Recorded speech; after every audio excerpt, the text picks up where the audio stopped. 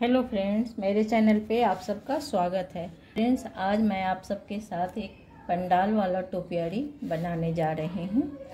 तो इसके लिए फ्रेंड्स, हमको एक पॉट की ज़रूरत होगा, चाहे कुछ इससे बड़ा हो या छोटा हो। तो एक पॉट ले लेंगे और फिर उसमें एक होल कर, के बाद उसमें एक ठिकरी लगा देंगे। फिर सॉइल भरेंगे। उसके बाद फ्रेंड्स, तीन हिस्सा पीछे के पार्ट को हम छोड़ेंगे। और एक हिस्सा आगे के पार्ट को छोड़ेंगे।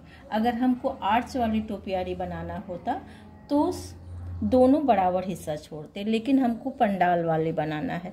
तो इसके लिए पीछे हम ज़्यादा छोड़ेंगे और आगे कम छोड़ें। यानी कि तीन हिस्सा पीछे और एक हिस्सा आगे। और इसके लिए हमको कुछ कटिंग की ज़रूरत पड़ेगा।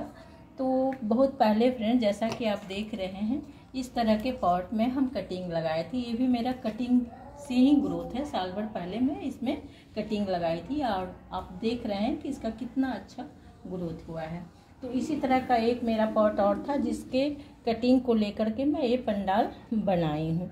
तो इसके लिए मेरे पास फ्रेंड्स एक बिजली का तार था, जिसको मैं सॉइल में लगा दी हूँ दोनों तरफ़ से दबा करके और दो कटिंग, जैसा कि आप देख रहे हैं, एक इधर है और एक इधर है और बीच में ये बिजली वाला तार है। इस तरह से लेते हुए फ्रेंड्स दो कटिंग इधर से और दो कटिंग इधर से। करते हुए एक तार की सहायता से, इस तरह की तार आपके पास जैसा भी हो, उस तरह से लेके लपेटते हुए दोनों तरफ़ से मैं यहाँ आकर के मिलाई हूँ, जैसा कि आप देख रहे हैं, एक ऊपर अच्छा सा बन के आएगा।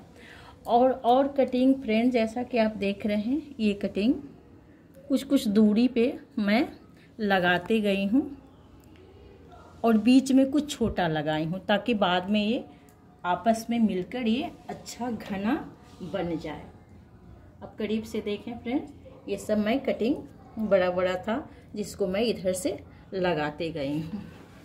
और ये जब भर जाएगा पूरा तो एकदम ये घना एक अच्छा सा पंडाल के रूप ले लेगा ये सारा। इसके लिए फ्रेंड्स हमको समय समय से कटिंग करना होता है। जैसा कि आप देखें, अभी तो मैं लगा चुकी हूँ इसमें, लेकिन कटिंग नहीं की हूँ। तो आपको देखें, जैसे कि ये बाहर दिख रहा है तो इसको मैं कटिंग करूँगी। ये मेरे सेब को भी बिगाड़ रहा है और अच्छा भी नहीं लग रहा है। तो इसको मैं कटिंग करते जाऊँगी। कटिंग करने के लिए फ्रेंड्स आप ज़रा सा भी ना डरें। कटिंग से ही मेरा पंडाल अच्छा बनेगा। ऊपर घना चारों तरफ़ से भर जाएगा। और एक कटिंग मैं काटूँगी तो वहाँ से दो कटिंग दो निकलेगा और मेरा प्लांट काफ़ी बुसी होगा। जैसे कि मैं यहाँ से अगर काट रही हूँ तो यहाँ से दो निकलेगा। तो ये ज़्यादा घना, ये सारा चीज़ फ्रेंड्स भर जाएगा। इस तरह से मैं पूरी पंडाल का जितना भी है, मैं सबको कटिंग करूँगी। इस तरह से करते जाएँ।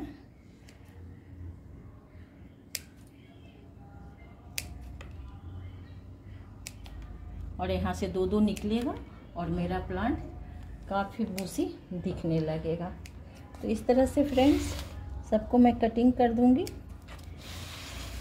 एक टाइम के बाद ये बहुत ही सुंदर सा मेरा पंडाल तैयार होगा और उसके बाद इसमें फ्रेंड्स कोई भी प्रतिमा को आप सजा करके रख सकते हैं। अभी मैं डेकोरेशन के तौर पर इसके जितने कटिंग थे फ्रेंड्स मैं इसमें डाल दी हूँ।